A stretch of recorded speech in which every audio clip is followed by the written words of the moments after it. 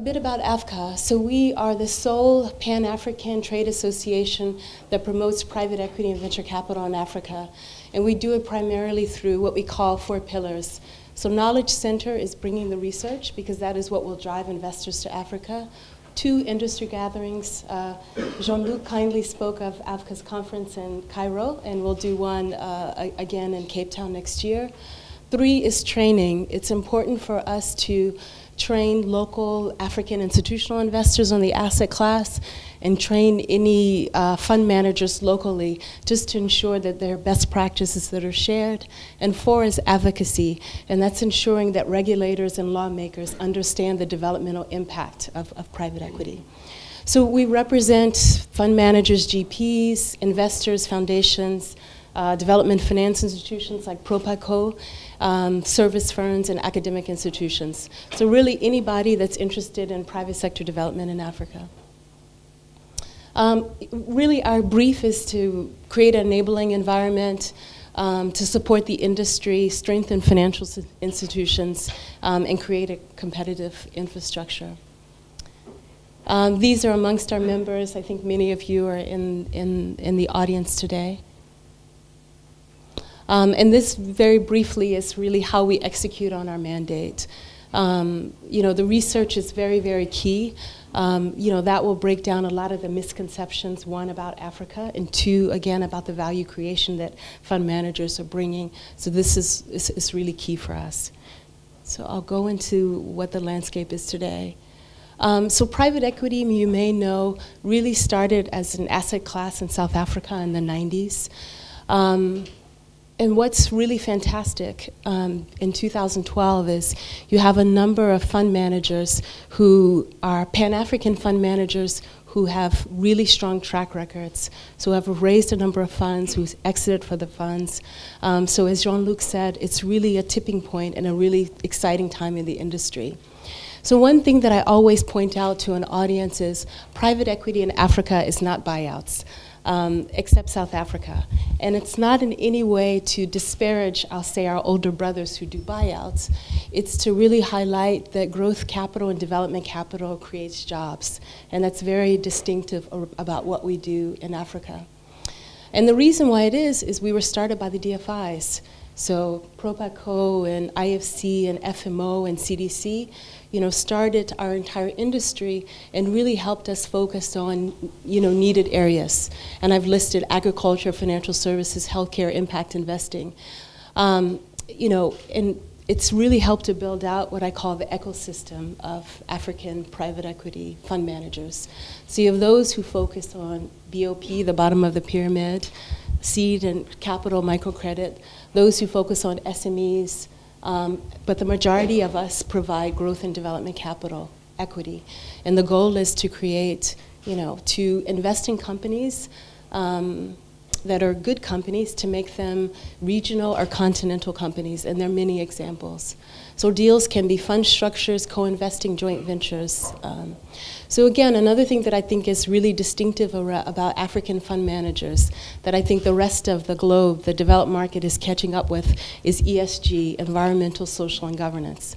Because the industry was started by DFIs and there's been a focus on ESG, you have an industry that has a decade of information on job creation, taxes paid, services provided, and that's really key, particularly in this environment where, in this world now where we're looking for growth.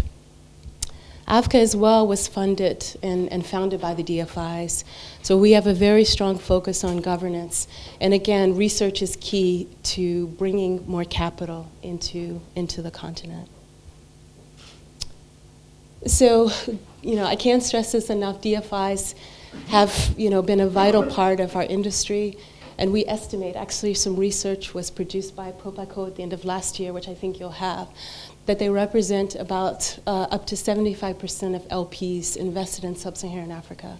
So, you know, they've been catalytic in helping to grow the industry and take that first risk or be the proof of concept for commercial investors.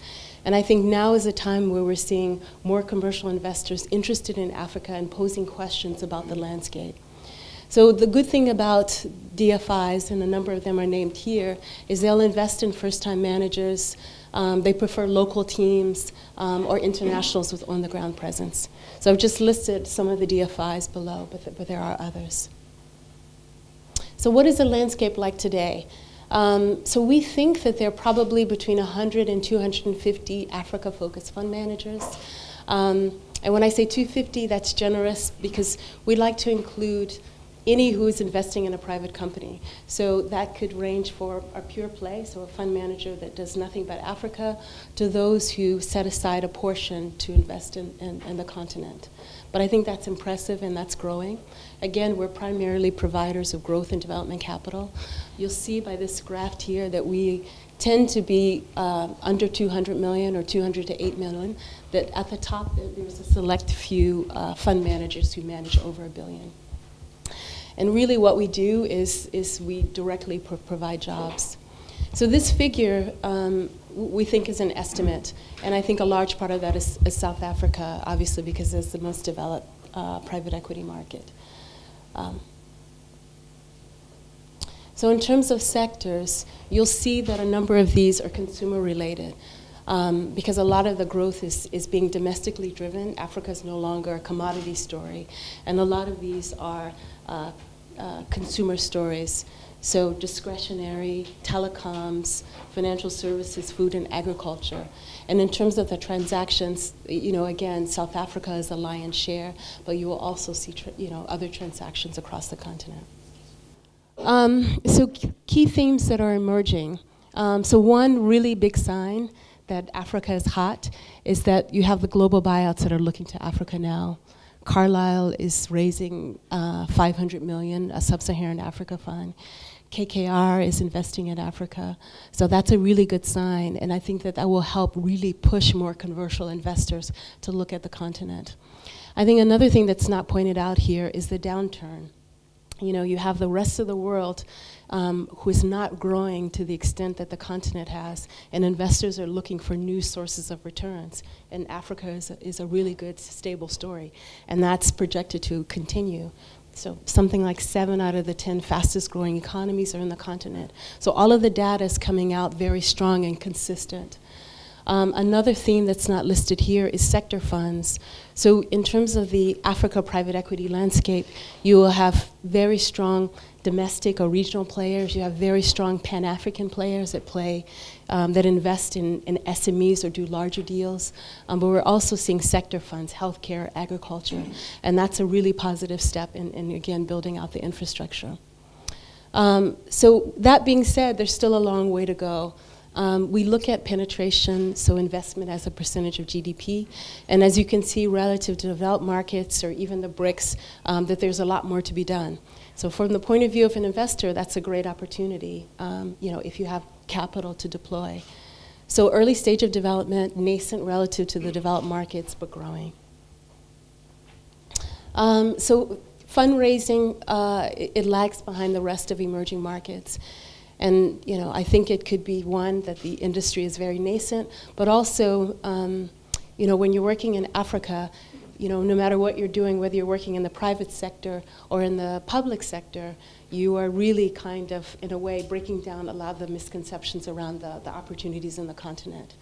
So, you know, one of our big tasks at AVCA, and I think that we, we all shared in working in AVCA, is really breaking down a lot of the misperceptions around, you know, what the risks may be or the opportunities. Um, so we hope in time, as we're able, you know, at AVCA to have more research, as you know, more fund managers uh, have exits, that that will start to change and more capital will, will come into the continent. Um, so track record relatively short but growing. So again, the industry is, um, is nascent, you know, 15 or 20 years old, um, and that's a short amount of time relative to the developed markets. But the good thing is there are, there are a number of fund managers, again, with strong performance and have you know delivered uh, you know return capital to investors. And all of that will be very positive going forward. One of the things that AVCA is doing with Cambridge Associates is we are uh, developing the first African private equity benchmark. A lot of times we hear from LPs, institutional investors, you know, how can I compare one fan manager with another? And it's great to be able to produce that with a well-known consultant like Cambridge, so that in investors can look at African fund managers' performance, uh, which is important, you know, that they can make money versus other geographies. Um, so one proxy we use until that benchmark is launched is the IFC, um, which has been investing in Africa and emerging markets for a long time. They've posted 22% return for a 10-year period ending 2010. So outperforming uh, their entire emerging markets portfolio.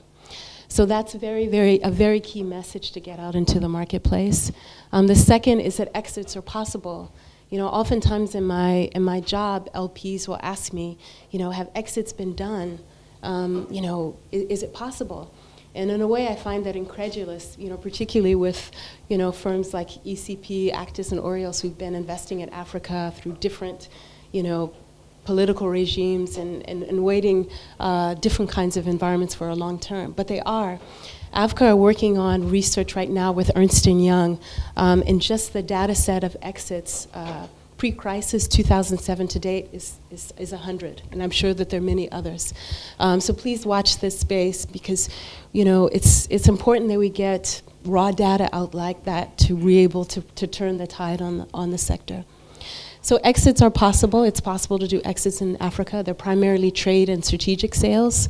Um, and as you can see, they're growing. So again, back to the turning point, the tipping point, what, what we think is needed. Um, a strong trade association, you know, an industry body, someone who can be unbiased, that can kind of sing the praises of Africa and, and private sector investment. You know, a better understanding of political and country risk by investors because we think that there's, you know, inflation there. Um, perception of Africa equals the reality. You know, sometimes um, people often think I work for a charity um, because I'm working in Africa. They don't understand that there's, you know, there's ports and metropolitan cities, and there's a Porsche dealership in Lagos. Um, so really, you know, uh, knocking down all of those perceptions is really the role of all of us. So I think we need more fund managers. The ecosystem needs to be built. We need more investors, global and local. Local investors are key. Um, you know, sort of like friends and family for an entrepreneur. You know, more deals and more exit options and also a favor favorable regulatory environment. Um, and this is part of our job so that regulators understand that development capital, you know, creates a cycle. You know, we invest in companies that hire people. You know, those salaries allow for kids to go to school and it puts money into the economy, that's tax revenue. That, that circularity is very important. And then lastly, um, to be able to continue to educate locally, um, you know, to, to, to foster local talent.